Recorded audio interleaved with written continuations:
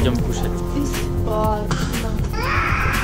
Вот, если вы летите Turkish Airlines и показываете свой билет, если у вас от 3 до 8 часов, то вас должны бесплатно накормить, а если э, от 10 и больше часов, то